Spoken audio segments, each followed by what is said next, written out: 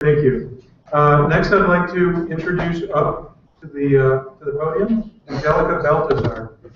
Uh, This will be our final showcase for the day. Uh, Angelica is uh, a Health and Human Services Industry Specialist for ESRI. ESRI is one of our uh, supporters both of the Health Data Consortium and for the event today. She currently works with government and organizations across the globe educating and evangelizing on the use of GIS, which we'll define, GIS and Health and Human Services. Welcome, Angelica.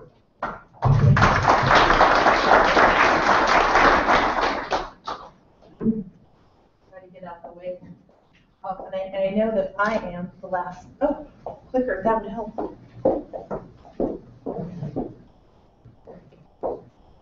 Well, thank you for inviting me here this afternoon. I know that there's a few people that have asked me who Esri is, and I'm going to try to define that in a nutshell because it really isn't the Esri show, but more about talking on how open data and GIS and the world of state and local government and community-based organizations, how that all plays in together. But I do think that GIS has a tremendous role to play here. So I'm hoping by the end of this, you'll have a better idea. And if you need some better examples, because I'm not going to go live, because technology does not like me today, we're just going to go straight through a PowerPoint and talk a little bit about human services. First and foremost, Esri is a GIS company, which stands for Geographic Information Systems. So in a nutshell, it's taken all those bits of data that we've been talking about today and visualizing it, putting it on a map, uh, putting it in graphic so that you can better understand it, your policymakers can understand it, and it can be easily shared. Uh, more than anything, Esri is very honored to be a founding supporter of the Health Data Consortium. We have a continued commitment to innovation, and hopefully we can share some of those things with you today. I like to talk about health and human services. And what I loved what Dan said is that human services is vital and it is, it is important. And sometimes it gets lost in the discussion because we hear health data, health data. I don't want to change the name. I just want to remind people that human services, those safety nets, I'm sorry, those safety nets are crucial to keeping our families whole, healthy, and out of institutions such as hospitals and facilities. As a company, Esri is, is heavily engaged in health and human services. And most states across this country are our customers in one way, shape, or form. We want them to be successful. So I would like to talk about human services policing. No, I'm joking.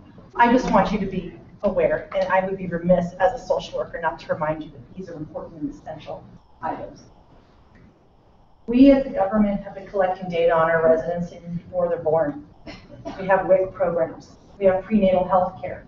Before our children are born and when they're born, we collect data about where these low birth weight babies are happening, which is a critical crisis that's occurring in many states across the country. We have data that is available in which analysts are, are taking hold of and analyzing and, and trying to understand where these children are, are, are being born so that we can make some changes in their lives. There's some success happening in the state of Louisiana where they've analyzed this data and they understand that 80% of their low birth weight babies are coming out of one neighborhood. That's significant and that's extremely important. And so there is some shifting of not only funding but resources to make a difference in those children's lives. We have a new aging population. We keep talking about the silver tsunami, but we forget that these are the same people that developed half the codes that are behind all the apps that we operate today. They are far more technologically savvy than their predecessors. They have greater expectations of their government, of their services, and we need to step up to the plate to provide them the services they require. We've also, as a nation, faced some very significant hard economic times. We have families in distress, homelessness has increased, we have a drain on our resources, public housing requests, and people need access to services. There's tons of information out there. We need to give them the access.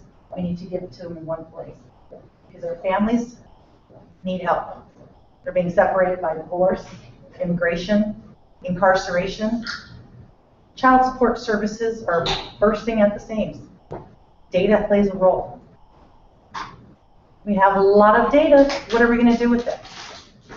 We now take that data and put it in a way that's going to be useful not just to government employees, to citizens at large. We need to give them an opportunity to analyze that data, digest those outcomes, present it in a way that's collaborative, and that we can share with others. That's where Esri comes into play. This will be my quick little brief shot of Esri. We believe that we can help with open data and data sources and providing them in four accessible ways. Via maps, infographics, geographic data enrichment, and report.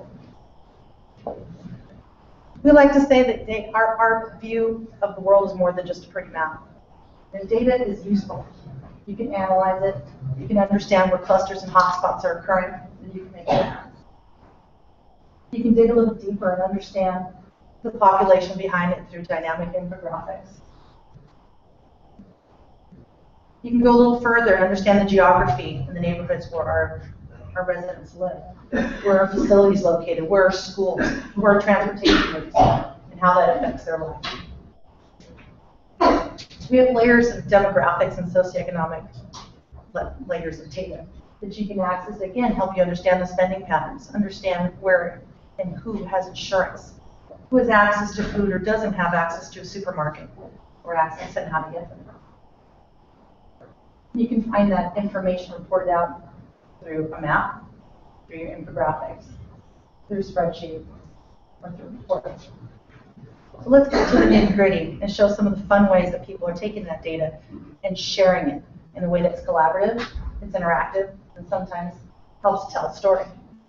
Hence, this is an Esri story map. This is information taken from CMS talking about where the uninsured populations live. Very simple, pulling the information out of Hispanic populations and their levels of income and where and who has insurance and who doesn't. It's more than just a spreadsheet where you're digging through numbers and trying to understand how much. This tells you who and it tells you where. To answer some of my human service folks in the back, there is a venue in which you can share and you can collaborate. And this is my favorite example, and this is, these are my, my shining stars right now. This is the state of New Mexico. Is anyone familiar with their Community Data Collaborative? The state of New Mexico is unique in which they are the first human services department and public health department in the state that actually agreed that they have the same clientele. Because many states, many counties will tell me, no, no, we have different people. I said, no, you don't. If you really layered your clients together, you'd realize that the majority of them, you are serving the same people.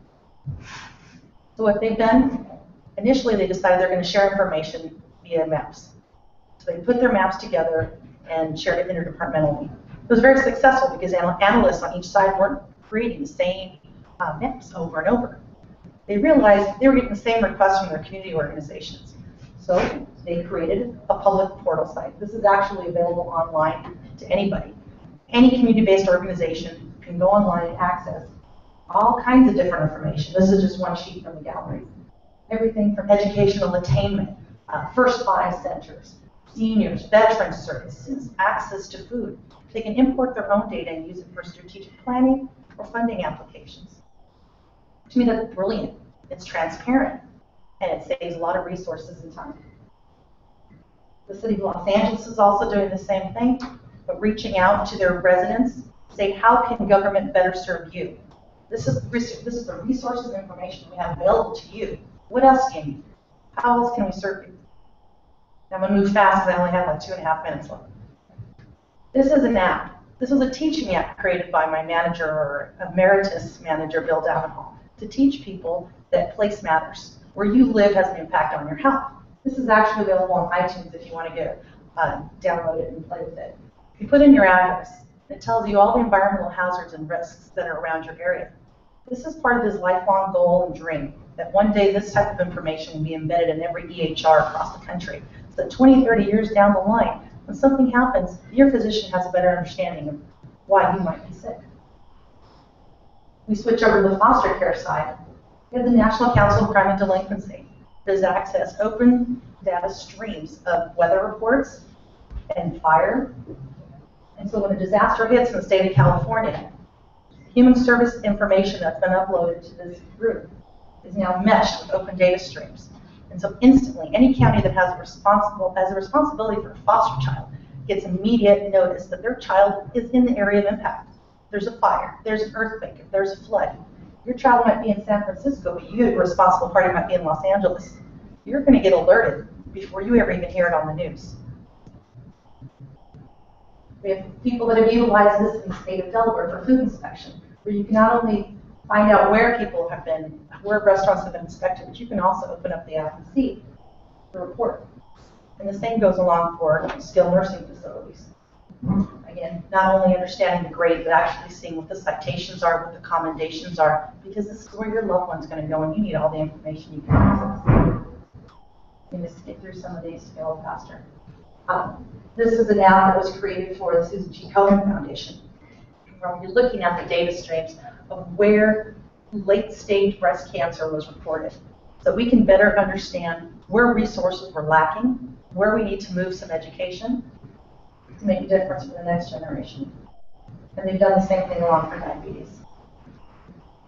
In closing, why I love Health Data Palooza, I think it's a fantastic conference and I love the people and I just, it just, their heart is in the right place and it's so exciting. I, I look forward to the day where those types of events aren't necessary, where open data is natural, as having an extra button on your keyboard. So we can take this mess that we have, give it to people who are creative and innovative, let them make some sense of it.